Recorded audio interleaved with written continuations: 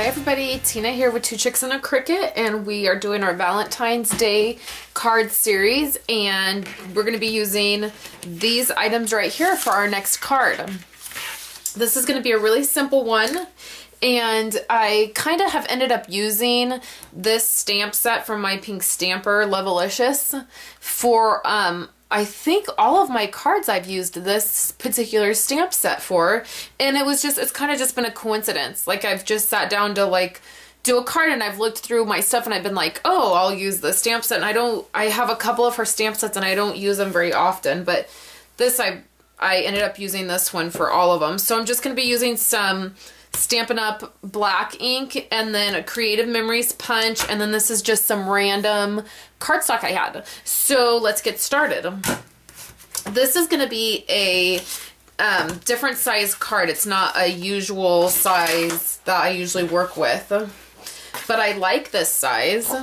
And what I'm doing is it's going to be a six by four and a quarter. So usually what I'll do is I will take and cut an eight and a half by 11 piece of cardstock right in half at five and a half and that will create a five and a half by four and a quarter card. But what I'm doing is I'm gonna cut it right at six inches. And that gives you a six inch by four and a quarter card. So that's the first thing we're doing. And then we're just going to fold it. And get a good crease.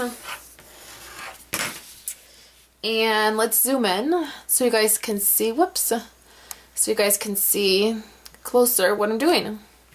So you have this card and then what I'm going to do is I'm just going to take a piece of black cardstock and I've already cut this down. And it is, I forgot what I cut it at. It's at one and three fourths. And I'm going to put this right at the bottom, but I have this piece that is at one and a half. And it's going to go on here. And I liked this paper. This is really simple if you're going to do a lot of them. I like paper like this that has the words because you can just use strips of it. And then you get a lot of use out of your piece of paper and it makes things really simple. So I'm going to attach these two things.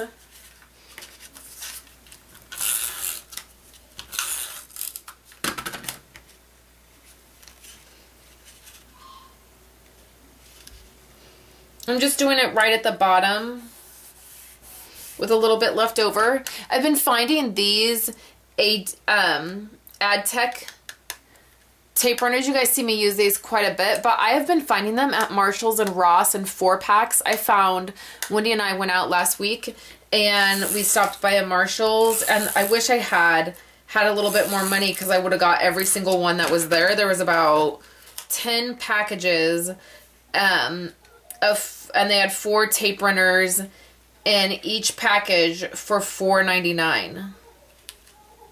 So that's amazing. So I'm just attaching that. Uh oh, that's the baby I hear. I have to pause. I made this a little too long, so I'm just taking my scissors and clipping it.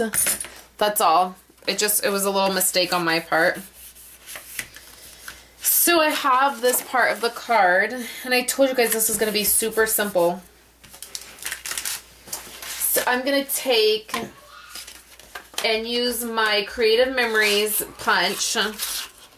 These are great punches. They are um, really sturdy, you know, really solid punches. So I just wanted to do three. I'm doing two in one size and then one in a smaller size. And I'm just going to set these aside. And then I'm going to take my stamp and I'm going to use this Lovelicious down here.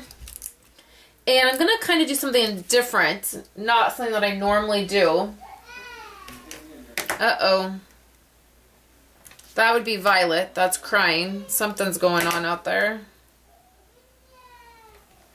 She'll probably be coming to my door in a minute to tell me. Yep, here. Okay, hold on one second. Okay, I'm back. All right, so I'm gonna take a basic black color. It happens to be a Stampin' Up! one. And I'm gonna do something a little different than what you might usually do on your card. So instead of just stamping one little stamp, I'm gonna stamp this multiple times.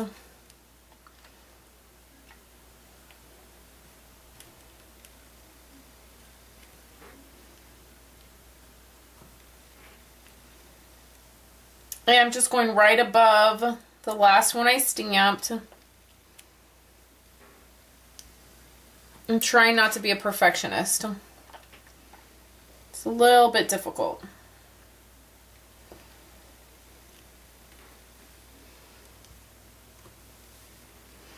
So I think about five will fit. Yeah, so I'm going to do one more.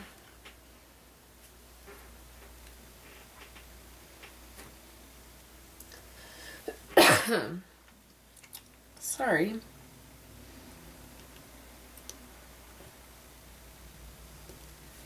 Okay, so that came out perfect. Um, so I'm going to set this stuff aside. And then I have these hearts. And they're big enough I can just use this tape runner on it.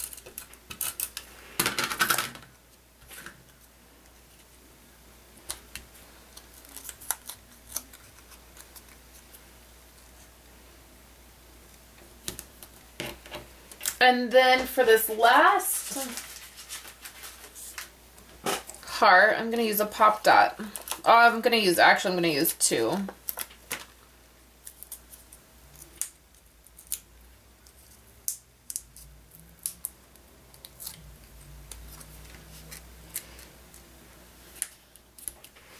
And there is your Valentine's Day card.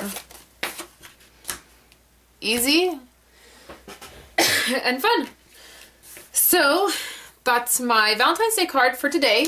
And thanks for stopping by the blog today. And we'll have a few more. We'll have them all through the week. So Sunday, it started on Sunday, and we'll have them all the way through Saturday, I believe. Saturday or Sunday. So thanks, guys, for stopping by the blog, and we'll talk to you later.